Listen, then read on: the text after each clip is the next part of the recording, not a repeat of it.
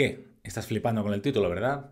Pues no, no es un clickbait. Este vídeo es todo lo que tienes que saber sobre la selección o diseño de los ejercicios de musculación. ¿Qué trataremos en este vídeo? Pues en este vídeo trataremos el músculo, pero concretamente el momento interno, el perfil de fuerzas, todo lo que afecta a este momento interno, la tarea, el ejercicio en sí, el momento externo, todo lo que afecta al perfil de resistencias y también un poquito del entorno, los grados de libertad y la estabilidad.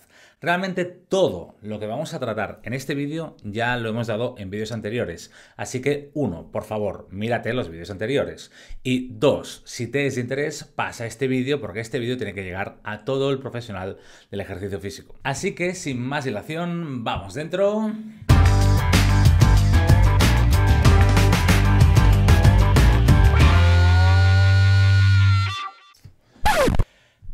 Ahora sí, welcome nómadas. Eh, este vídeo vamos a empezar por el principio, como hemos dicho antes. Vamos a tocar muchas cosas que ya hemos visto, pero vamos a empezar por el músculo, el momento interno o el perfil de fuerzas. Vamos a hablar de qué depende esto y lo vamos a dividir en estos puntos, en estos cinco puntos, que son cuatro agrupados, que sería el, brazo de momento interno, la relación de la tensión activa, la alineación de las fibras y la sensibilidad del uso muscular y la relación con la tensión pasiva. Piano piano empezamos por el principio, el brazo de momento interno o ángulo de ataque, que sería ver la distancia perpendicular de la fuerza al eje de giro, o lo que es más o menos lo mismo, si nos es más fácil eh, ver el ángulo de ataque del músculo durante todo el recorrido. Así, si nos vamos fijando músculo a músculo, tendríamos un deltoides anterior. El paquete deltoides es un músculo que tiene volumen, por tanto tiene una forma curva y esta forma curva hace, favorece que el, el, brazo de momento sea bastante uniforme.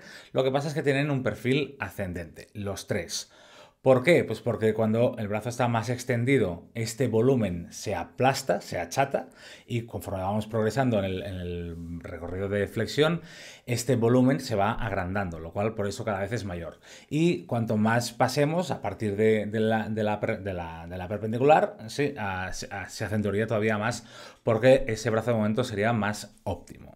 Algo similar nos va a pasar con el deltoides medio, en este caso en el momento clásico de abducción de hombro, aquí en el vídeo entre 5 y 95 grados aproximadamente. También el volumen del, deltoides haría, debería hacer que este, que este brazo de momento se mantuviese más o menos constante. Como está más aplastado cuando está abajo y menos aplastado cuando está arriba, pues va, es ligeramente ascendente. Y lo es más todavía si siguiésemos eh, progresando en abducción.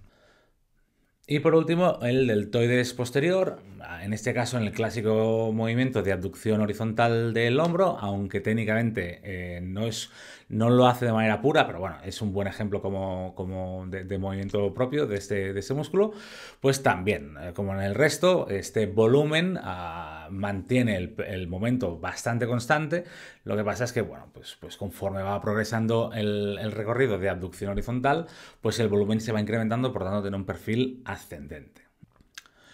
Veamos ahora el pectoral mayor en su clásico ejemplo de aducción horizontal de hombro. Sería un, ejemplo de, empuje, de un press. En este vídeo el recorrido es muy cortito, es más o menos entre 30 y 85 grados. Y aquí entre 30 y 85 grados vemos que es un perfil ascendente. Técnicamente el pectoral mayor tiene más recorrido. Cuanto más abierto esté, peor ángulo tiene, peor brazo de momento tiene aproximadamente cuando se acerca a 95 grados, hay 90 grados, un poco antes ya está su, su, máximo, más o menos depende de las fibras, pues por aquí hasta aquí, en este rango de aquí es donde las fibras em, van, van encontrando la perpendicularidad y sí que es verdad que si continuásemos, porque el pectoral tiene más recorrido, si continuásemos, este pectoral empezaría a perder brazo de momento, ¿sí? en esta característica de em, forma de U invertida que veremos en casi en todos los músculos donde el músculo ataca por delante del eje de giro. Vamos atrás, dorsal ancho, tres cuartos de lo mismo. En este caso lo vemos en aducción, lo podríamos ver también en extensión, porque sucede más o menos lo mismo. cuando tenemos el brazo totalmente arriba, ya sea en extensión o sea en aducción, el, el brazo de momento sería muy malo, más o menos cuando está en esta zona de aquí es cuando el brazo de momento, tanto en extensión como en aducción, es mayor, ¿sí? es cercano a 90 grados, por tanto la distancia es máxima, y los tres cuartos de lo mismo cuando seguimos bajando hasta la altura del tronco, hasta que esté pegado con el tronco, pues volvería a ser muy malo hasta, bueno, hasta llegar prácticamente a cero, si un poquito para atrás sería cero. Bíceps braquial es el ejemplo clásico de esos músculos que ya he comentado, de que pasa el músculo por delante del, eje de giro. Pues depende del, recorrido que le pidas. En este caso estamos viendo un recorrido entre 130 grados y 60 de flexión. Pero bueno, si cogiésemos de, 180 prácticamente cero, veríamos un perfil de U invertida casi pura. ¿sí? Casi pura. Eh, lo que pasa es que no podemos llegar a 0 grados de, de, o sea, el recorrido no, puedes plegarlo absolutamente, siempre, siempre te queda un ángulo, pero bueno, cuando está totalmente alejado, el, brazo de momento es muy, muy poquito, porque el, ángulo de ataque es mm, casi 180 grados, aquí es 90 y cada vez cuando empieza a perder, pues este, este brazo de momento se irá disminuyendo. El tríceps braquial es un músculo que ataca por detrás y se sirve de una palanca natural, que en este caso sería el olecranon, ¿sí? Es una, así como el deltoide se servía de un volumen muscular, este es una palanca ah, que, es, eh, bueno, que es ósea. Eso provoca que como un efecto mm, balancín, ¿sí? Ah, bueno, pues la mejor palanca esté cuando ese músculo está a 90 grados y eh, pierde un poquito en, ambos extremos, ¿sí? porque esta palanca de balancín pues, eh, bueno, pues, pues pierde un poquito ¿sí? y se acerca y se acerca en ambos extremos. Nos vamos con el glúteo. El glúteo es como un deltoides en el fondo, sí, tiene una forma muy, muy, muy similar. Em, es un, tiene un, volumen porque ataca por detrás.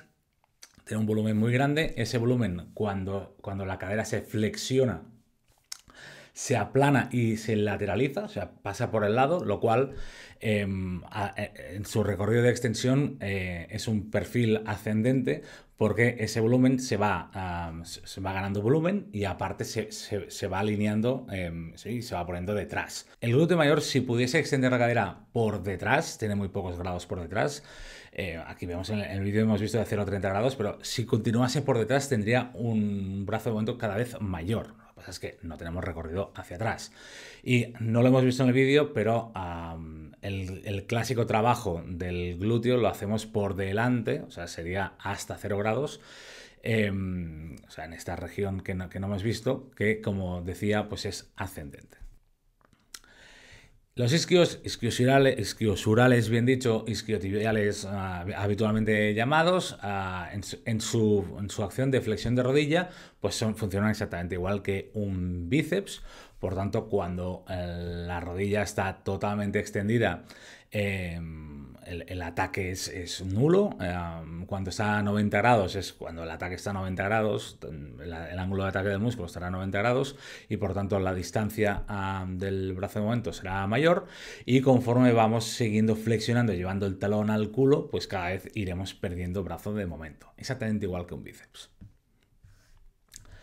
El cuádriceps es el músculo en extensión de rodilla, es el músculo que más plano tiene el perfil de brazo de momento, o sea, la evolución del brazo de momento, porque realmente la rótula hace eh, de esta palanca natural o de esta polea natural que provoca que a lo largo de todo el recorrido se mantenga más o menos el mismo ángulo y más o menos la misma distancia al, al eje de giro. No es puro, puro, puro lineal, pero prácticamente es una línea recta en cuanto a brazo de momento. Luego hemos visto que hay más cosas a tener en cuenta. Y por último, y parecido al cuádriceps, y parecido, no, más parecido al tríceps eh, braquial, el tríceps ural, eh, los extensores de tobillo, los flexores plantares de tobillo, eh, gastrocnemios, gemelos y sóleo, pues nos sucede lo mismo que con el codo. ¿sí? En lugar del olecranon, aquí tenemos el calcáneo, que es un saliente óseo que nos hace de palanca y cuando, bueno, pues cuando está en el medio es cuando más distancia hay y cuando está por arriba o está por abajo, pues eh, pierde un poquito de distancia, por lo tanto pierde un poquito de brazo de momento. Bueno, y la pregunta de millón, ¿y con esto ya lo sabemos todo sobre el músculo? No. El segundo punto, y es el segundo punto más importante, es la relación de la tensión activa eh, con la longitud. Esto ya está explicado, que es esta, esta, relación. el sarcómero muscular tiene más capacidad contráctil cuando está más o menos en el medio, pero cuando está totalmente contraído pierde capacidad contráctil porque el, el filamento de la actina está solapado y cuando está muy muy estirado pierde capacidad contráctil porque los filamentos están tan distanciados que no, hay, no, tiene, no tiene sitio para generar este puente cruzado. ¿Y esto cómo va a afectarnos en las curvas que hemos visto antes? Pues bueno, pues es una doble curva, ¿sí? Es la, la curva que hemos visto antes, simplemente hay que subirla por el medio y bajarla en los extremos. La bajamos en los extremos y la subimos por el medio y nos queda la misma curva que antes, pero más exagerada esta curva. ¿sí? Este perfil ascendente algo más exagerado en los deltoides em, y esta curva de U invertida mucho más acentuada en los músculos que pasan por delante del eje de giro, como pueden ser el pectoral mayor, como pueden ser el dorsal ancho, como será el bíceps braquial, un poquito también en el tríceps bueno, en el glúteo mayor nos va a pasar igual que en el deltoides, por tanto tiene este perfil en el rango este típico de trabajo que es en flexión, o sea, en el rango de, que, la cadera está flexionada, pues, pues, pues, tiene un perfil ascendente hacia la extensión. Em, en los isquios igual con bíceps y en el cuádriceps pues esta línea que era casi recta pues se convierte un poquito en una curva y esta curva se aumenta un poco más en el tríceps. Hasta aquí más o menos lo que se suele explicar, ¿sí? El brazo de aumento y la curva de tensión activa. Pero yo, poniéndome un poco purista, que para eso estoy, ¿no? Doctor Nomad, gracias. Em, pues sí que te tengo que decir que hay todavía algunas cositas más, ¿sí? Y eso también te lo expliqué en su vídeo correspondiente. Pero bueno, la alineación de las fibras, el ángulo de penación en relación al recorrido cambia y también la, sensibilidad del uso muscular y por tanto la capacidad de activación de los músculos también cambia durante el recorrido. Por tanto, vamos a intentar tenerlo en cuenta. ¿sí? Vamos a intentar, lo primero que te explico, bueno, esos son los ángulos de penación. Em, pero ¿qué pasa? Que durante el recorrido, pues si yo estiro un músculo, el, ángulo de las fibras se alinean con la línea de tensión, lo cual los vectores se vuelven más eficientes. Esto se nota mucho en los músculos que son, que son tipo abanico, que son como triangulares, y en los fusiformes, pues algo también. Esto, por ejemplo, en el vasto medial del cuádriceps pasa muchísimo.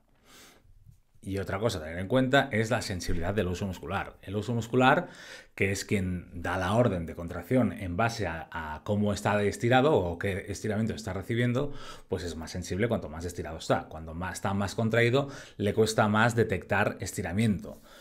¿Y esto cómo afecta a todo lo que hemos visto? Pues bueno, cogemos los gráficos que hemos visto hasta ahora y en estiramiento, que siempre va a estar al principio, sí, está girado, ¿sí? en estiramiento que va a estar al principio, lo subimos, lo subimos un, poco bastante y en máximo acortamiento lo bajamos un poquito y nos va quedando algo tipo así. Los deltoides, como veis, está cambiando muy poco, pero algo cambia.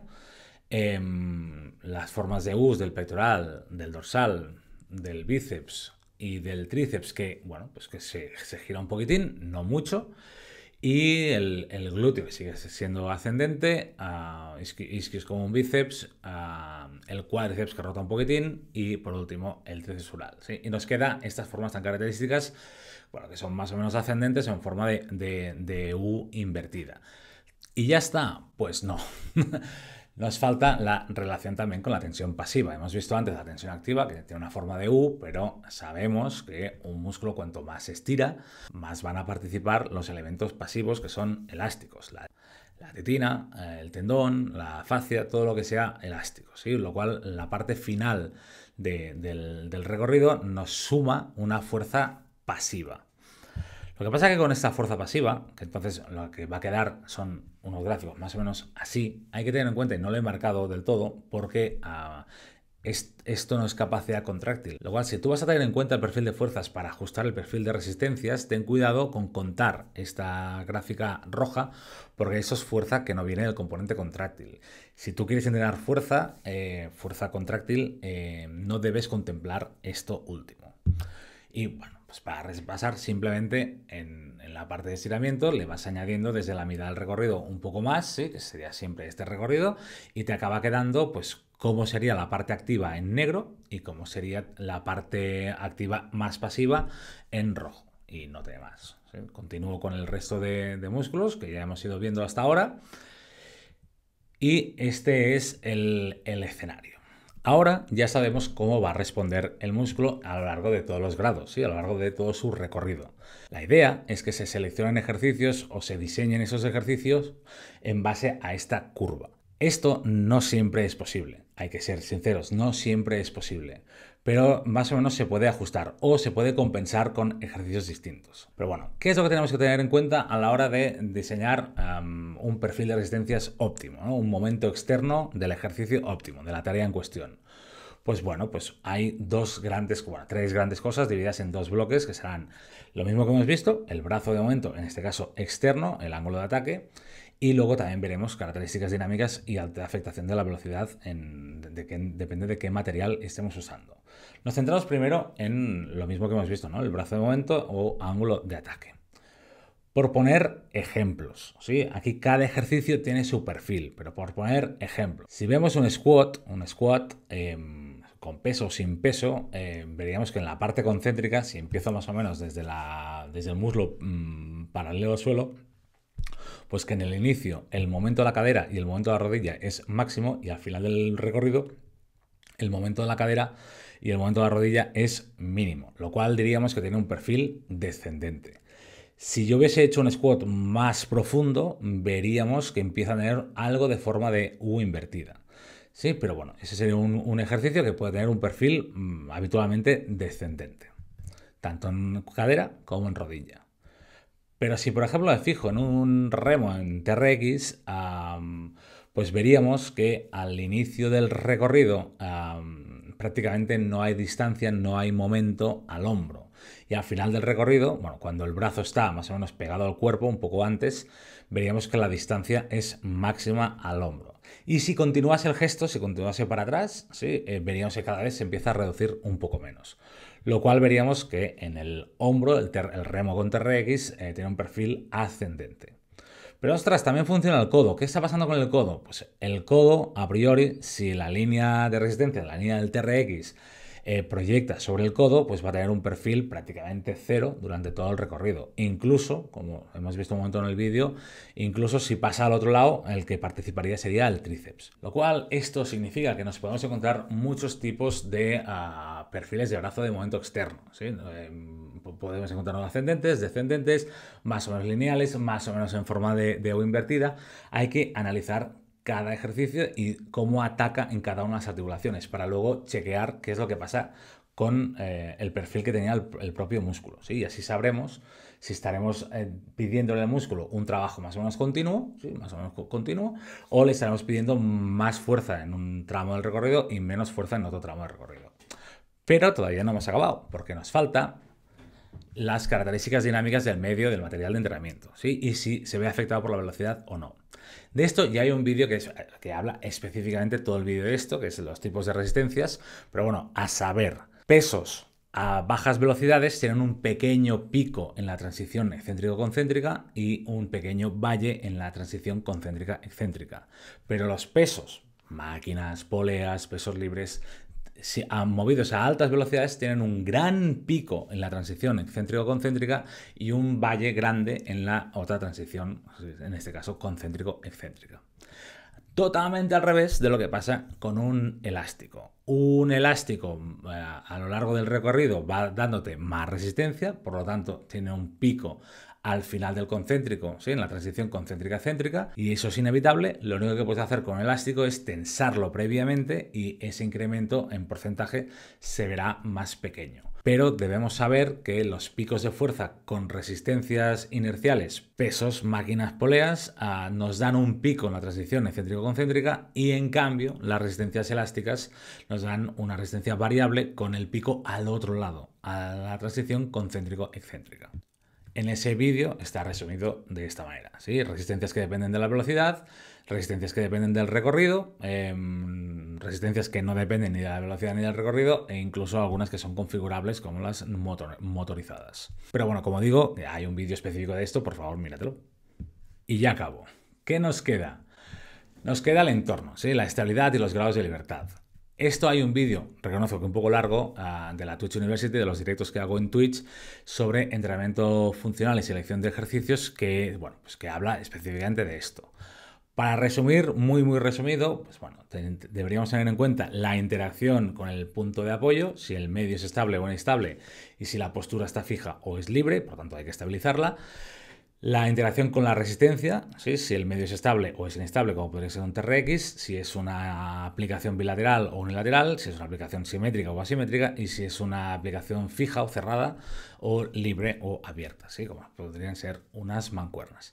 Y también, bueno, pues si estas dos relaciones, ¿no? la, interacción con el punto de apoyo y la interacción con la resistencia, están alineadas o no alineadas, como podría ser en un trabajo de press con poleas, donde tú estás en contacto al suelo, ¿sí? Y las fuerzas de radiación las tienes a la altura del suelo y las, las fuerzas, ¿no? la resistencia la tienes a la altura del pecho, lo cual ahí está pasando algo y el core, el tronco, tiene que trabajar muchísimo. Como digo, eso está mucho mejor explicado en, ese vídeo de la Twitch University, así que por favor, ves y míratelo. En resumen, conoce cómo te da la fuerza cada músculo a lo largo de su recorrido. Esto te va a permitir tomar decisiones, ya sea ajustar la resistencia a esa curva, la que sea, em, durante todo el recorrido, o desajustarla porque tu deporte específico aplica las fuerzas mm, en un recorrido muy concreto. Me da igual, toma tú la decisión, que no te venga impuesta. Dos, a saber los materiales la misma curva de momento externo de un, de un, ejercicio hecho con polea a un ejercicio hecho con una goma no tiene absolutamente nada que ver. Uno te da el pico en una parte del recorrido y otro te da el pico a la otra parte del recorrido. Así que por favor no tomemos como sinónimo una polea de una goma. Y tres, el tema de la estabilidad y los grados de libertad. Pues si tú quieres aplicar fuerza, cuanto más estable y menos grados de libertad, mejor. Aparte, cuantos menos grados de libertad, más capacidad de generar fuerzas intencionales tendrás. Y al revés, si tú lo que quieres es trabajar el control motor, trabajar la, estabilidad, trabajar eh, que todo se mueva y, poderlo ajustar, pues entonces, bien, eh, abre grados de libertad, pon inestabilidad y bueno, pues, pues tendrás ahí un, ejercicio con, menos fuerza, porque habrá muchísima fuga de fuerza, pero sí que es verdad que los músculos tendrán que trabajar para mm, estabilizarte. Pero eso no es entrenamiento de fuerza. Y poco más, para no hacer el vídeo eterno, pues ya corto aquí, lo de siempre, muchas gracias por suscribirte, por favor suscríbete, he dicho que te suscribas, suscríbete por favor, y si me quieres echar una mano que la necesito, pues eh, me puedes ayudar en Patreon o me puedes invitar a un café simbólico virtual. Em, Continuamos, no hemos acabado este curso, eh, sí que cerramos un capítulo, sí. Continuamos todavía con el, con el curso de, biomecánica, nos vamos a ir un poco más a, teoría de la, biomecánica y cómo se estudia la, biomecánica a partir de ahora. Y en breve ya, en pocas semanas ya empezaremos por fin el curso de metodología del entrenamiento. Y bueno, pues chicos y chicas, esto es lo que hay y nada, pues uh, recordad que el que no entrena se desentrena y bueno, pues hasta el próximo vídeo. Venga, chao.